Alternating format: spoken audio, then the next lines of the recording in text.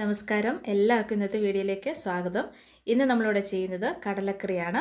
നമുക്ക് വളരെ സിമ്പിളായിട്ട് ചെയ്യാൻ പറ്റുന്ന കടലക്കറി. അതായത് ഇത് വറുത്ത് തേങ്ങയൊന്നും വറുത്ത് അങ്ങനെയല്ല വെക്കുന്നത്. വളരെ സിമ്പിളായിട്ട് നമുക്ക് ബ്രേക്ക്ഫാസ്റ്റിന്റെ കൂടെ പുട്ടിന്റെ കൂടെയോ ഇടിയപ്പത്തിന്റെ കൂടെയൊക്കെ നമുക്ക് എല്ലാ ദിവസവും നല്ല ഈസി ആയിട്ട് ചെയ്യാൻ പറ്റുന്ന കറിയാണ്. അതുപോലെ തന്നെ നല്ല ടേസ്റ്റ് ഉണ്ട് ഈ കറിക്ക്. ചെയ്തെടുക്കാനും എളുപ്പമാണ്. അപ്പോൾ വീഡിയോസൊക്കെ നിങ്ങൾക്ക് ആദ്യമായിട്ട് കാണുന്നവരാണെങ്കിൽ ചാനൽ സബ്സ്ക്രൈബ് ചെയ്യാനൊന്നും വിട്ടുപോകരുത്. സബ്സ്ക്രൈബ് ചെയ്യുമ്പോൾ ബെൽ ബട്ടനെ പ്രസ് ചെയ്യണം. അതോടൊപ്പം തന്നെ ഓൾ എന്ന ഓപ്ഷനിലും പ്രസ് ചെയ്യാൻ വിട്ടുപോകരുത്. അപ്പോൾ നമുക്ക് ഇന്നത്തെ വീഡിയോയിലിട്ട് പോകാം. ഞാനിവിടെ എടുത്തിരിക്കുന്നത് ഒരു ഗ്ലാസ് കടലയാണ്. ഒരു ചെറിയൊരു ഗ്ലാസ്സിന് ഒരു ഗ്ലാസ് കടല എടുത്തിട്ടുണ്ട്. ഇത് സാധാരണ നമ്മൾ എന്ന് ചെയ്യുന്ന പോലെ തന്നെ തലേദിവസം വെള്ളത്തിൽ കുതിർക്കാനിടും. എന്നിട്ട് രാവിലെ നന്നായിട്ട് കഴുകിയൊക്കെ വെച്ചിരിക്കുന്നതാണ്. അപ്പോൾ ഒരു ഗ്ലാസ് കടല എടുത്തിട്ടുണ്ട്.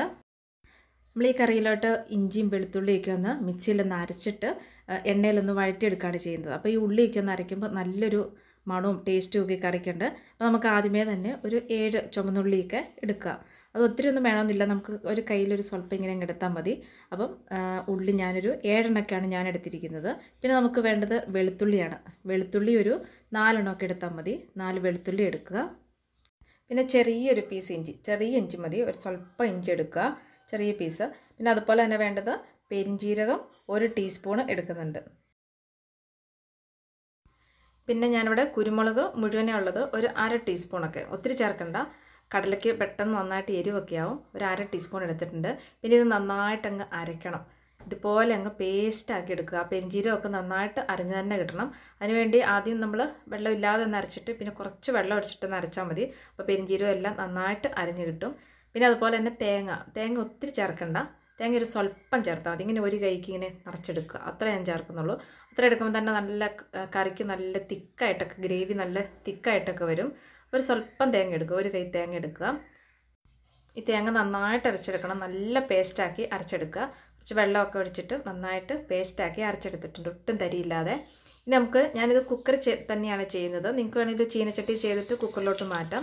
അപ്പോൾ ആദ്യം തന്നെ വെളിച്ചെണ്ണ ഒഴിച്ചു കടുകും കറിവേപ്പിലയും ഇട്ട് കൊടുത്തു. അതിനുശേഷം നമ്മൾ ആ അരച്ച് വെച്ചിരിക്കുന്ന ഇഞ്ചിയും വെളുത്തുള്ളിയൊക്കെ അരച്ചല്ലോ ആ ഒരു പേസ്റ്റ് ആദ്യമേ തന്നെ ഈ എണ്ണയിലോട്ട് ഇട്ട് കൊടുക്കും. ഇത് എണ്ണയിൽ കിടന്ന് നന്നായിട്ട് മൂത്ത് വരണം. അപ്പോൾ നല്ലൊരു സ്മെല്ലാണ് ഈ ചുമന്നുള്ളിയും ഇതെല്ലാം കൂടെ എണ്ണയിൽ അങ്ങ് മൂത്ത് വരുന്ന സമയത്ത് നല്ലൊരു സ്മെല്ലുണ്ട്. അപ്പം അതാദ്യമേ തന്നെ അങ്ങ് മൂപ്പിച്ചെടുക്കുക. അതിനുശേഷം ഞാനിവിടെ എടുത്തിരിക്കുന്നത് ഒരു സവാളയാണ്. ഒരു സവാള എടുത്തിട്ടുള്ളൂ. ഒരു സവാള കൊണ്ട് തന്നെ ഈ കറിക്ക് നല്ല ഗ്രേവി ഒക്കെ നമുക്ക് കിട്ടുന്നുണ്ട്. അപ്പോൾ ഒരു ഒരു ഗ്ലാസ് കടലയൊക്കെ ആണെങ്കിൽ ഒരു സവാളയൊക്കെ മതി. നന്നായിട്ടങ്ങ് വഴറ്റിയെടുക്കണം. അതോടൊപ്പം തന്നെ ഒരല്പം ഉപ്പും ഒരു കാൽ ടീസ്പൂൺ മഞ്ഞൾപ്പൊടിയും കൂടി അങ്ങ് ചേർത്ത് കൊടുക്കും. പിന്നെ നമ്മൾ മഞ്ഞൾപ്പൊടി ചേർക്കുന്നില്ല. അപ്പോൾ ഇത് ആദ്യമേ തന്നെ ചേർക്കുകയാണെങ്കിൽ സവള നന്നായിട്ട് വാടി കിട്ടുകയും ചെയ്യും. അതുകൊണ്ട് ആദ്യമേ ഇങ്ങനെ ചോട്ടി പിടിക്കുന്ന പോലെയൊക്കെ തോന്നാം. പക്ഷേ അത് കുറച്ച് കഴിയുമ്പോൾ നന്നായിട്ട് വഴറ്റി വരുന്നതനുസരിച്ച് അത് മാറിക്കോളും. സവാളയൊക്കെ ഒന്ന് ഒരുവിധം നന്നായിട്ട് വഴറ്റിയെടുക്കുക. ഒത്തിരി ഓവറായിട്ടൊന്നും ഫ്രൈ പോലെ വരണമെന്നൊന്നുമില്ല. നന്നായിട്ട് അങ്ങ് വഴറ്റി വരുന്ന സമയത്ത് ഞാനിവിടെ ഒരു തക്കാളി ഒരു തക്കാളി എന്ന് പറയുമ്പോൾ ചെറിയ തക്കാളിയാണ് ചേർക്കുന്നത്. ഒത്തിരി ചേർക്കുന്നില്ല. അപ്പോൾ ചെറിയൊരു ഇതൊക്കെ കിട്ടാനായിട്ട് ഒരു തക്കാളി ചേർക്കുക. ഇനി നന്നായിട്ട് അങ്ങ് വഴറ്റിയെടുക്കുക. ഇത് നമുക്കൊരു അഞ്ച് മിനിറ്റ് ഒക്കെ മൂടി വെച്ചാലും കുഴപ്പമില്ല. അപ്പോൾ നന്നായിട്ട് ഈ തക്കാളി നല്ല വെന്തുടഞ്ഞ് വന്നോടും നന്നായിട്ട് അങ്ങ് വഴറ്റിയെടുക്കുക. ഇതിപ്പോൾ നന്നായിട്ട് വഴറ്റി വന്നിട്ടുണ്ട്. ഇനി നമുക്ക് ഇതിലോട്ടുള്ള പൊടികൾ ചേർത്ത് കൊടുക്കാം. പൊടികളെന്ന് പറയുമ്പോൾ മുളക് പൊടിയൊക്കെ ചേർക്കുമ്പം കടലക്കൊക്കെ പെട്ടെന്ന് എരിവ് ചേരും. അതുകൊണ്ട് രണ്ട് ചെറിയ സ്പൂണാണ് ഞാൻ മുളക് പൊടി ഇടുന്നത്. അപ്പോൾ ഒരു ടീസ്പൂണിന്റെ കണക്കാണ്. ഒരു രണ്ട് ടീസ്പൂണൊക്കെ മുളക് പൊടി ഇടുന്നുണ്ട്. അതുപോലെ തന്നെ മല്ലിപ്പൊടി ഒരു ടീസ്പൂണും. പിന്നെ വേണ്ടത് ഗരം മസാലയാണ്. ഗരം മസാല ഞാനിവിടെ അര ടീസ്പൂൺ ഇടുന്നുള്ളൂ. കാരണം കടലയ്ക്ക് ഒത്തിരി മസാല വേണ്ട. നമ്മൾ ആദ്യം പെരിഞ്ചീരകം ഒക്കെ ചേർത്താണ്. അപ്പോൾ അതിന്റെ ഒരു നല്ലൊരു മണവും ഒക്കെ ഉണ്ടാവും. അപ്പോൾ ഒരു അര ടീസ്പൂണ് ഗരം മസാല പൊടി കൂടി ചേർത്ത് കൊടുക്കുക. ഇനി പൊടിയൊന്ന് നന്നായിട്ട് ചൂടാകണം. അതിന്റെ ഒരു പച്ച സ്മെല്ലൊക്കെ ഒന്ന് പോകാനായിട്ട് നന്നായിട്ടൊന്ന് ഇളക്കി ഒന്ന് മൂപ്പിച്ചെടുക്കുക.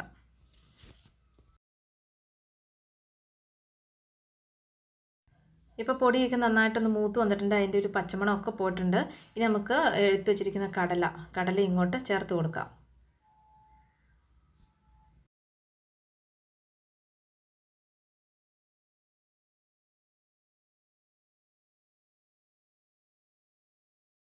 ഇത് നന്നായിട്ട് ഇളക്കി യോജിപ്പിക്കുക. മസാലയൊക്കെ കടലയിലോട്ട് നന്നായിട്ട് പിടിക്കാനായിട്ട്. അതിനുശേഷം നമുക്ക് ഒരു മുളക് ചേർത്ത് കൊടുക്കാം. ഒരു പച്ചമുളക്. കടലയ്ക്ക് ഒത്തിരി മുളക് ചേർക്കണ്ട. നല്ല എരിവാവും. ഒരു മുളക് നടുവേ മുറിച്ചത് ഇട്ട് കൊടുത്താൽ മതി.